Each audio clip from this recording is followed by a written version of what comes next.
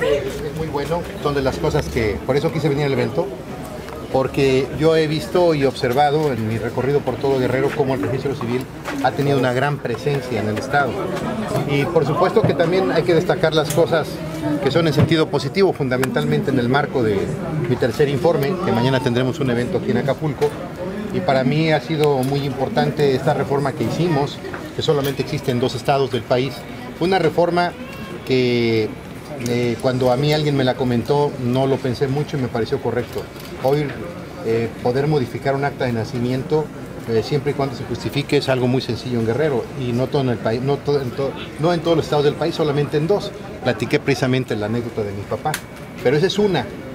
hay muchos niños que tienen sus actas de nacimiento equivocadas y yo creo que ahora se puede arreglar muy bien.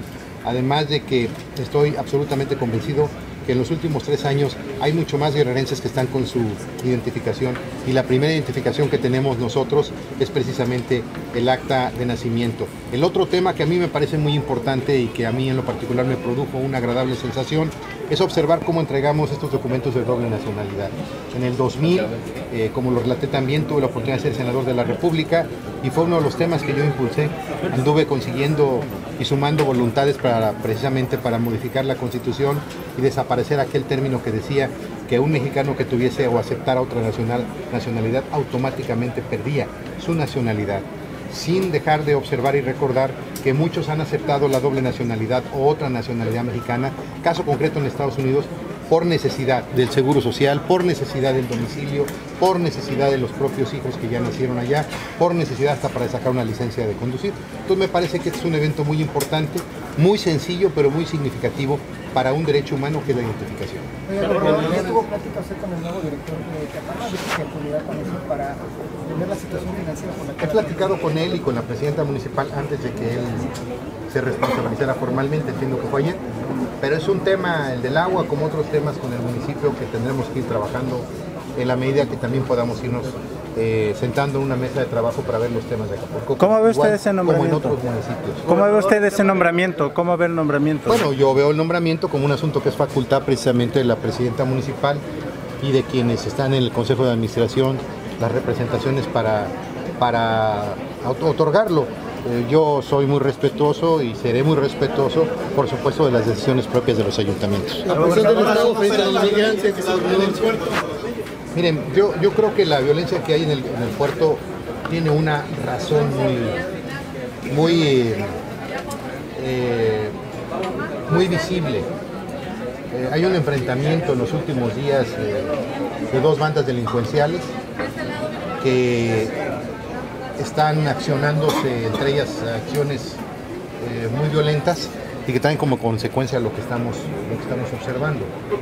Eh, les quiero comentar también de que estamos muy alerta precisamente de todo este tipo de eventos. Eh, sin que tenga yo que darles grandes detalles, pero nosotros nos hemos enterado de otras acciones que han intentado y que por alguna otra una o diversas circunstancias se ha intervenido para evitarlas pero están absolutamente eh, decididos a estar mandando mensajes. Los mensajes tienen que ver primero con el pleito interno y seguramente también con la intervención de que se tuvo de la policía. ¿Ya hay civiles afectados también? Por eh, lo entendía estas acciones de violencia como un mensaje contra su, gobierno de, Adela. ¿Cuál es su opinión y cómo, cómo, de qué forma se le va a ayudar al pueblo? Debo ser muy responsable en lo que voy a contestar. Yo creo que siendo una afectación la que se hizo a intereses en la policía, y por supuesto que tiene consecuencias para quien es la autoridad municipal. Gobernador, ¿ya conoce la propuesta de Román para nombrar nuevos secretarios de seguridad? No, no la conozco, pero la que tenga y si ella la valida, la vamos a apoyar porque yo espero, yo estoy convencido que va a actuar con Gobernador, mantendrá la petición. Frente a los migrantes centroamericanos. ¿Perdón? La postura del Estado frente a los migrantes centroamericanos. Bueno, yo al final de cuentas creo que hay que darle un tratamiento en un marco de derechos humanos eso es muy importante. Eh, yo creo que el país está frente a un desafío, el país México, un desafío que por supuesto obligará a desarrollar todos sus eh, mecanismos de diálogo, de entendimiento, de, de convencimiento, para que todos estos eh, eh, grupos de éxodo masivo que hay, por diversas razones, pues puedan cumplir con las leyes. Porque al final de cuentas todos los países de los que ellos vienen, en los que transitan en este momento y a los que quieren llegar, tienen leyes. Yo estoy absolutamente convencido que el tratamiento en el marco de derechos humanos debe ser prioritario, pero también las leyes deben funcionar. Gobernador. Gusto en saludarles. Gracias. Muy amable.